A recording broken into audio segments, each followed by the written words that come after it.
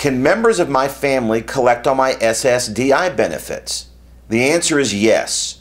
Children and a spouse can collect up to a maximum of 180% of your Social Security disability insurance benefits to help support your family. A qualified spouse or child can receive a benefit of up to 50% of your benefit rate. A spouse can receive benefits on your record if he or she is age 62 or, or older or is any age in caring for a biological or adopted child or stepchild under 16 or caring for a child who is disabled and receiving Social Security benefits. Children can receive benefits on your record if they are unmarried and under 18, or if they are 18 to 19 and a full time student up to grade 12, or if they are 18 or older and have a disability that started before age 22.